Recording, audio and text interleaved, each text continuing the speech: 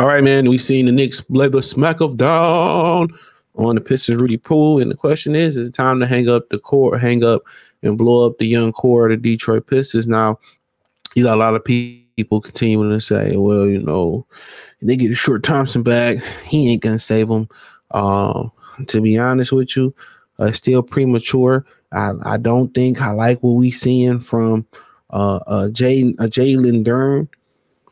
And I think that's the biggest impact. I quite won't say they need to blow it up. It's so premature, and uh, you know, JB Bickerstaff ain't really been able to put his his stamp on this team yet. But I've seen some things that that are that that that is encouraging from the Detroit Pistons under him. I mean, look at the the the camaraderie between you know Cade and Jaden Ivey, and I mean, I feel like they should have won every game but the Nick game. I almost went to that game, glad I didn't. They should have went, you know, other than they they was in every game. Should have beat Indiana. Should have came back and beat Boston. Um, Miami was a game they should have won. Philly, obviously they won, you know, and they played Brooklyn on on Sunday in Brooklyn, and they played the Lakers on Monday, which they shot the prices up for that game. I'm like, oh, I doubt it though. So, and once you start to look at it, it's just to the point where Jalen Duren, I think, is the biggest issue here going for this team. Um, I know people saying, well, to buy, I think, hold on. So I think people, I, I see somebody saying that they need to move Tim Hardaway Jr. Um, from small forward and put in Ron Holland. But the problem is shooting. I mean, that's common sense. Shooting is they need him in there for shooting, whether it's rolling Malik Beasley back in there or whatever. But once I kind of look at this roster, I like it. But I think where they they severely lacking that, and I seen the stat on, on social media that Duren is giving up a bunch of points to opposing centers and rebounds, or Detroit's, you know, um, you know, Detroit's, you know, us, you know, big fellas. And um oh here you go right here. Um let me put it on Instagram first.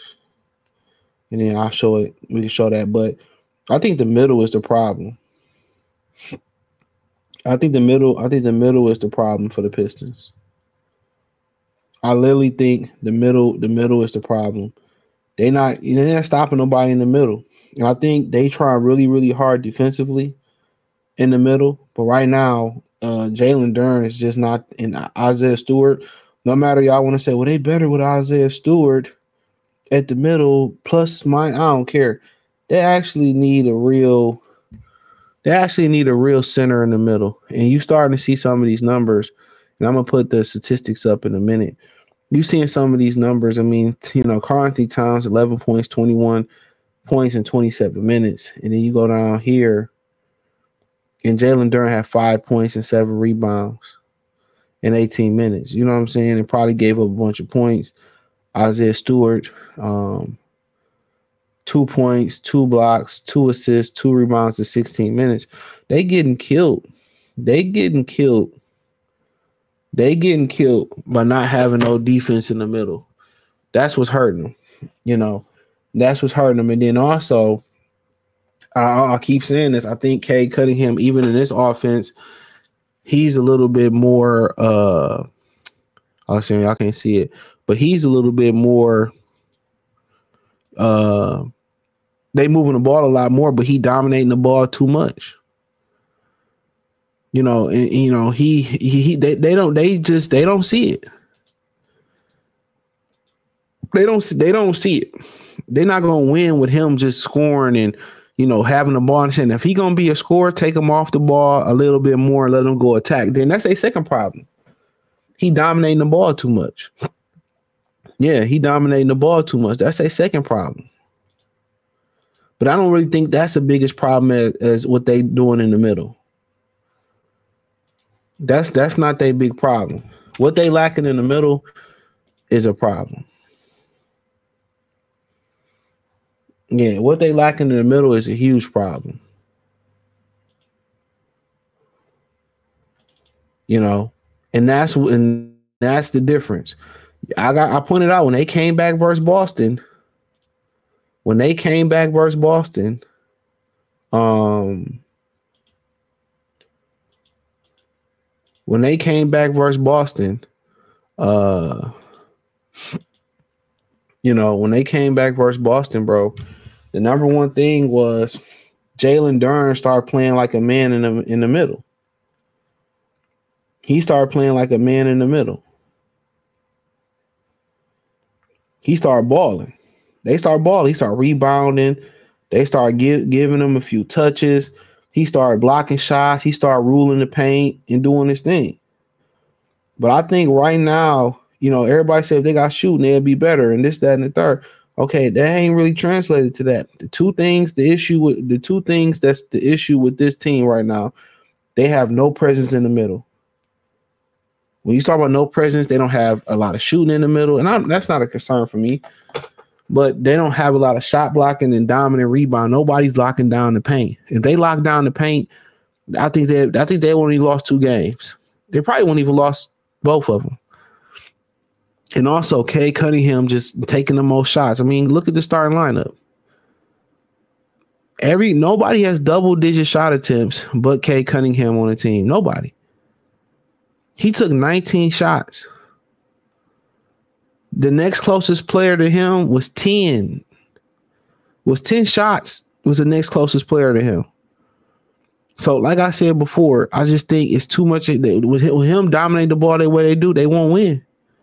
And with them not having defense in the middle, you know, with him, with them not being able to defend in the middle, the middle, they're not gonna win.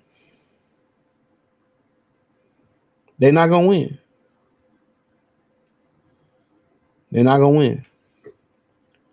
They are not gonna win with them not being able to defend in the middle and to take the ball out of K. Can that don't mean he can't score or shoot? It's just making it easy for him. It's just making it easy for him. It's making it easier for him. So, but you know, uh but I'm trying to post this thing up. I don't think let me post. Hold on. So I can see that. But that's their two biggest issues right now. That's their two biggest issues the inability, the, the biggest one is the inability to defend the paint. They do that, the team turn around. You know, but also Cade just being too ball dominant still.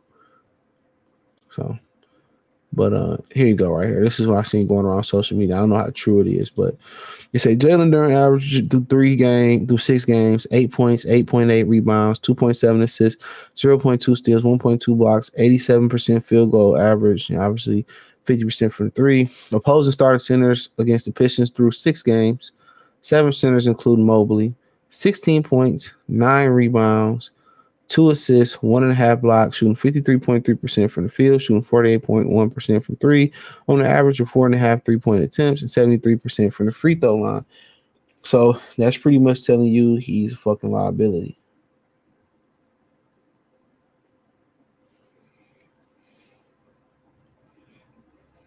You know, he's a liability.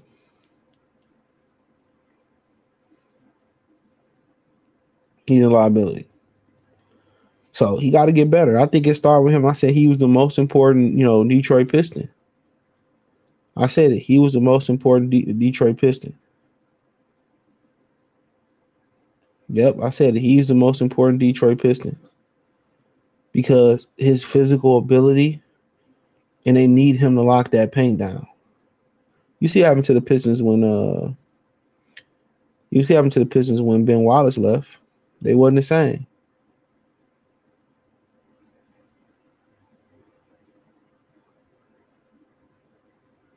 So, yep. But uh, but yeah, let me know what you girls and guys think. Thumbs up the video, share the video, subscribe to the channel, and subscribe button, hit the bell icon button, hit all notification, increase your chance, get notifications. We go live or drop video financially. Want to support the channel? Cash App, dollar sign CJ Good 313. Venmo, CJ Good 313, PayPal link subscription. Hit the Linktree. Find me on X, Instagram, Spotify, Anchor, Cash App, Venmo, PayPal. Let me know what you think in the comment section. Appreciate the love, support. Um, But hey, um, let me know what y'all think about my assessment piece.